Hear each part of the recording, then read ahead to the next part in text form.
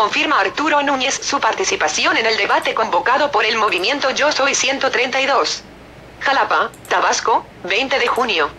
El candidato de la coalición Movimiento Progresista por Tabasco, Arturo Núñez Jiménez, confirmó su participación en el debate convocado por el movimiento Yo Soy 132 Tabasco y que se llevará a cabo este jueves en un café de Villahermosa a partir de las 20 horas. La invitación a participar en lo que será la tercera confrontación de ideas entre los candidatos a la gubernatura fue acordada por la Asamblea Plenaria del Movimiento Estudiantil. En el debate, que tendrá una duración de hora y media y se realizará en el Café Muculja, se abordarán los siguientes temas educación, empleo, medio ambiente, derechos de los niños y adolescentes, derechos indígenas, salud comunitaria, presupuesto estatal y Producto Interno Bruto, relación Estado-Federación Pemex, manejo de recursos hidráulicos, seguridad, justicia, marginación, entre otros. Entrevistado al respecto, Arturo Núñez dijo que ayer mismo confirmó su participación en este ejercicio democrático y en principio asumo que los otros dos candidatos asistirán a esta confrontación de proyectos y propuestas de gobierno. Por otro lado, se refirió al llamado que les hizo la Coparmex a los tres abanderados de firmar un acuerdo para que respeten el resultado electoral de las elecciones del primero de julio próximo.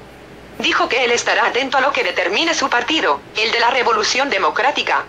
sin embargo, el candidato de la coalición integrada por el PRD, PT y Movimiento Ciudadano, consideró que el organismo empresarial no solo debe hacer ese exhorto a los partidos políticos y candidatos, sino también al gobierno estatal, para que deje de estar realizando todos los operativos que está haciendo para favorecer al aspirante del PRI.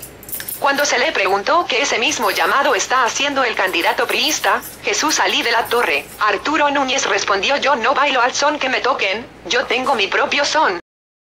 Ahora resulta que el abanderado de la ilegalidad quiere respetar la legalidad. Por Dios, ¿a quién quieren engañar? No descartó que el PRI pretenda reventar la elección del primero de julio cuando vea perdida la gubernatura, entonces van a querer actuar al modo de Jalisco cuando pierde arrebata.